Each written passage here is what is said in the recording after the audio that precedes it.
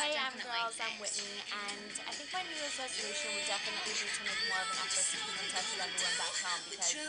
life can get obviously very crazy busy here. Do you think so that we should compare, so like, is there anything keeping in touch with those to make sure that I'm